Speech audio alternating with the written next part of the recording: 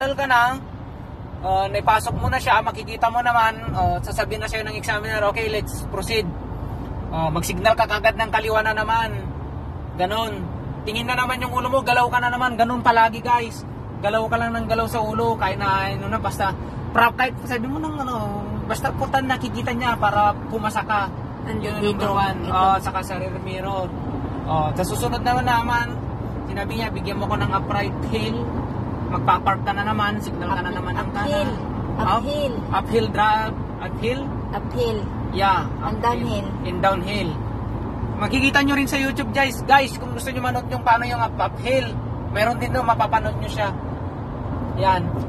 Tapos yung pag-signal, pag-signal, tapos lilipat ka ng other lane, tapos tignan mo yung speed. Number one yung speed. Pag sinabing maximum 50, 50 ka lang. Ganon. Huwag kang mag, ah, ano. Tapos pag sinabi niyang bigyan, bigyan mo, lagay mo ko sa kanan, steady ka lang, kanan lang. Pero kung ikaw ang mag-exam, ang way mo talaga, palaging steady ka ng kanan. Huwag kang lilipat hanggat hindi sinasabi ng examiner. Ganyan guys, yung ano natin yan dito sa Canada. Para yun yung mga tip kung paano makapasa. Yun lang naman eh. Unang-una, yun lang naman eh. Pero pag bago, bago ka niyan, dapat kabisado mo yung sasakyan mo. O, bago mo paanda rin yan, tatanong niya, o, bigyan mo ng signal. Left, right, ah, the, yung ilaw, yung horn, bim, bim, sabihin sa'yo, boing, boing, gaganon yun na, magpapatawa pa yan. O, pagka okay na, o, titingnan ngayon yan, upo na yan sa tabi mo, okay, let's proceed. Walang imikan yan guys, akala mo, hindi, na, hindi ka tinitingnan. Sus, yung pala, yung mata niya gumagalaw, tinitingnan, inoobserbahan niya yung paa mo, kung paano ka mag-pack, kung paano ka magpreno. Yun. Akala ko nga hindi ko tinitingnan ng examiner ko eh. Anak ng teting naman oh. Iobserbahan pala ko ang nakita niya isa lang ang may error ko doon pero pasa pa rin siya. Yung nag nag back parking ako, nahuli lang yung signal ko. Sinabi niya inilagay niyan, no signal. Oh, tubirin mo yon? Malay ko ba yon? Nag-signal naman ako. Ganyan katinding examiner, hindi gumagalaw yung ulo, pero yung mata tinitingnan ka lahat. Pati yung observe ng patakbo mo, ganon. Yan guys. Kaya mas maganda, manood-nood pa rin kayo ng YouTube.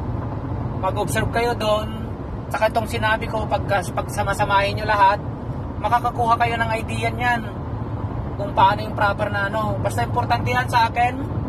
Palagi mong ginagalaw yung ulo mo. Huwag yung mata mo lang, galaw mo yung ulo mo.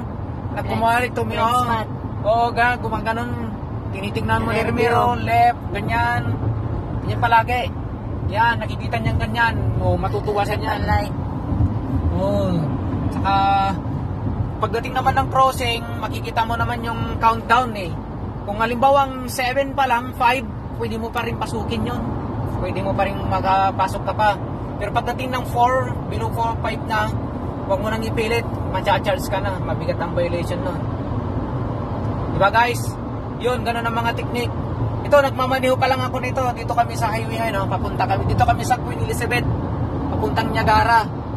Kaya hindi ko maka, masyadong makapagano. Pero yung tip, tips na sinasabi ko, kung pakinggan nyo lang yung tip na sinasabi ko, galaw yung ulo, sundan mo lang yung sinasabi ng examiner, tapos manood ka sa YouTube yung paano yung uphill park, parallel park, yan, yung 3 point turn, isa rin yung 3 point turn, yan, pag-aralan nyo rin yun, nasa YouTube yun, makikita nyo ngayon yun, Ano pa? malalaman nyo lahat yun. Yun lang naman mostly. Tapos yung para ng unang mag-drive ka, di, dapat kabisado mo yung sasakyan mo, tatanungin lahat yan. Unang-una yun yun. Tapos ang alam ko, pangalawa, bibigay sa'yo ah, parallel parking eh. Tapos upright, up, uphill. Sa'yo. Depende Oo. sa examiner. Oo. Tapos ano ipapa una. 3 point ka. Pag naka, napasa mo lahat yun, okay, balik na tayo doon. Sasabihin na naman. Tapos yung huling parking mo na naman, titignan niya naman yung huling pag-park mo kung tama, yung para para signal mo, yun. Tsaka ngayon, pagdating nyo na doon, tsaka kayong kakausapin. Sasabihin niya lahat ng mali mo, ito sabihin niya, ganitong gagawin mo, wag kang ano, ganito. And pag huli na, sabi niya, kung you failed or your pass. Pag sinabing your pass, o ay siyempre, kagaya sa akin, nung sinabi niyang pass, oh my God, bug bug bug bug, sabi ng puso ko, ah, ito na, may license na ako, pwede na akong mag-drive. Ayun, ito nga guys, nagsimula nga yun noon. Yun yung mga tips ha guys ha. Tandaan nyo. Yun yung mga tip na sinabi ko para makaano ka. Number one yan. Shout out mo si... Mm. Galaw ng galaw yung ulo mo. Yan lang. Number one lang dyan eh. Huwag kang mag-stay. Shout out mo si. Oh, Bok, shout out. Bok, si May. Ito, Bok. First time mag-drive ng highway, Bok. Punta kami ng Niagara. Ayan, oh. Dito kami sa Queen Elizabeth. Hi, Bok. Shout out. And especially sa mga, ano, sa Pilipinas, Pangasinan, ah, Biskaya. Ayan, Bok. Pakinggan mo yung Bok. Yung sinabi ko, yun lang tip niya. Tapos, pag-aral mo na sa YouTube.